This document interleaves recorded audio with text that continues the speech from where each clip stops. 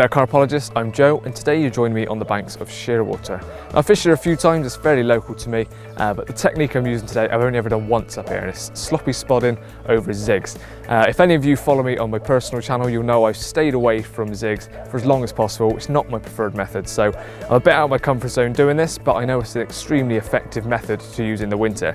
So that's what I'm going with today.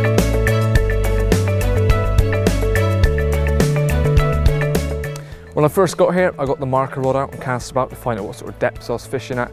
And I'm fishing in 15 foot of water and it's 13 and a half wraps out. So not too far out, but quite a good depth of water.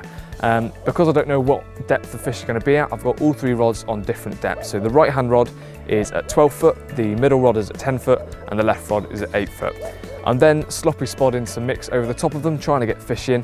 Uh, unfortunately, the rain started hammering down, but I persevered and uh, got out about well, a whole bucket load of sloppy spod to start with. Uh, rods are yet to go off, but I'm going to mix up a bit more and sort of every 20 minutes or so put five spods out or something. There's a heavy, heavy stock in here and this can be a very, very effective method uh, for this venue in particular. So I know that I should get one, but you never know, it is January and uh, carp don't always play ball, but that's the tactics I'm using.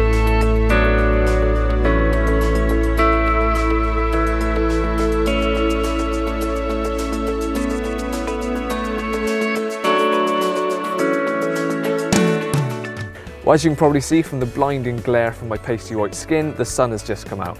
Uh, the forecast today is showers on and off and sunny intervals, so it's going to be like this for most of the day, staying dry at one point and then enjoying the sun the next.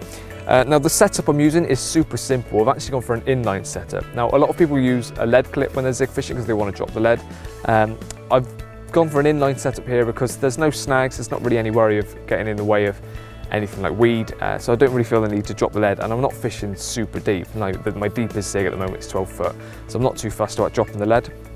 But to kick everything away from the lead and avoid tangles on the cast, I've gone for a super long anti-tangle sleeve, both ends. So one of them I've tucked onto the end of the lead, so it kicks away one way, and the other end on the zig rig, I've got one there. So I've probably got five or six inches of completely anti-tangle sort of boom sections if, if it were, uh, which will stop it from tangling on the cast and just gives me a lot more confidence that the rig that's out there is presented properly and not tangled.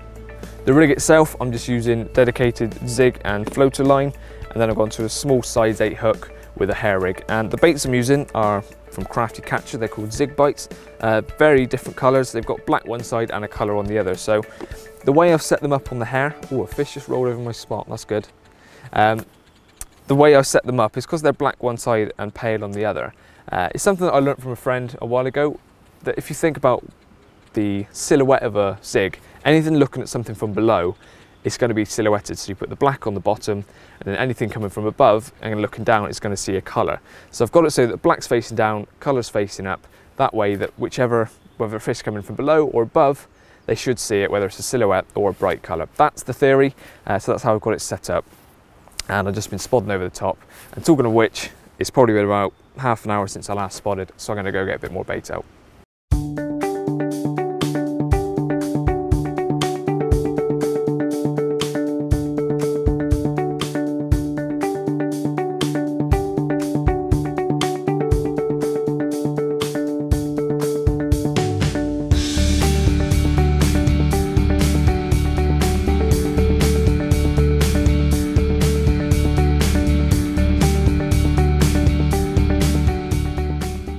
Well, it's just gone 12 o'clock and unfortunately no fish to report. I've made a few small adjustments in the heights of the zigs and I've also doubled up the zig bites on each of the hairs. So it's a bit more visual, a bit more pop-up buoyancy. So hopefully the fish will home in on that a bit more. Uh, one other thing I'm going to pick up on is how I'm fishing at uh, accuracy. So I'm using distance sticks. I marked out this morning on a marker float the depth and the distance I was going to fish.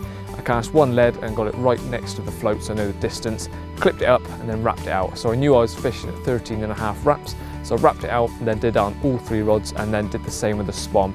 Only because I'm fishing in 15 foot of water, I brought the Spomb back a couple of foot just to allow for the swing back of the lead on the actual fishing rods and the spod mix should then drop directly over the top. That's the idea. I'm not the best of spodders, so I've probably uh, baited up a very, very large area anyway.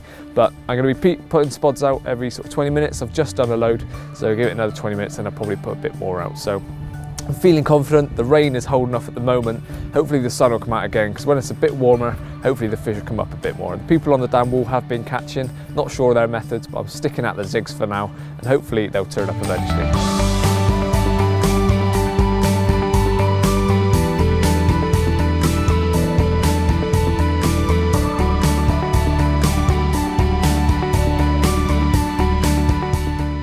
Right, well it's time to mix up a bit more sloppy spod mix. As I said at the start, I mixed up a whole bucket load and put it all out at once. So I did a mass bait approach and hoped that uh, the fish would come in and feed on it. It didn't work that way, so I'm gonna mix up a bit more and for the rest of the day, every sort of 20 minutes or so, I'm gonna put about five spawns out over the top. Now I have made my own sloppy spod mixes in the past. I've gone to supermarket, got oats, uh, all sorts of different things from the tackle shop as well, mixed it all together but it can be a bit of a pain. And if you haven't got the time to make your own or get it fully prepared the day before because the oats do keep on taking on moisture until they're fully swollen up you don't want to be putting out unprepared particle. And sometimes if you don't have the time it's not really ideal. So today I'm using a ready-made mix from Crafty Catcher. It's a sloppy spod mix dedicated for this kind of fishing. You simply add lake water and it mixes up goes nice and milky and cloudy. It's got all different sort of particles, different size in it, so it should separate up in the layers and hopefully get the fish feeding. So some of the bits drop to the bottom, fish will feed on that, uh, but also stuff will come up to the top as well.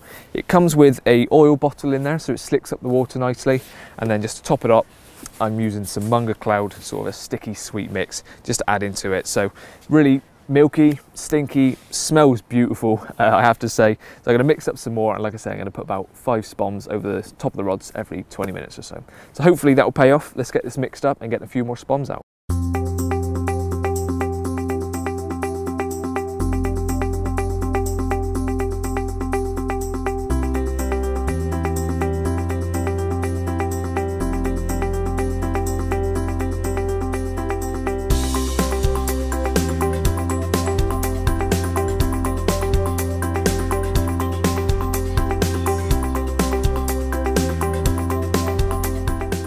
We'll come to the end of the session now. Unfortunately, the fish haven't played ball, but it is the very end of January, so I wasn't expecting to have a prolific session, but one or two would have been nice. Uh, I've been using zigs all day. I tried all different depths. I started at 12, 10 and 8 foot. I went down as low as 4 to 6 foot towards the end, just trying to find all the different layers and didn't seem to find any fish. Uh, looking on local websites, unfortunately the going method at the moment, as you'd probably expect, has been PVA bags, solid bags on the bottom. So I wasn't really using a method that's working well on here at the moment, but it was a super easy method to use. It just didn't pay off on today. I know it would work on another day potentially, uh, but just not today. The sloppy spod mix I use, super easy to use, just add in lake water and instantly gave you a sloppy spod mix, which is what you want to use when you're doing this kind of fishing. It's super easy to make, um, and I did it in smaller bulks, tried different methods, but it just didn't pay off today. So hope you enjoyed this video anyway. Uh, please like the video if you did, and uh, find us on Facebook and Instagram. Cheers for watching, and I'll see you again soon.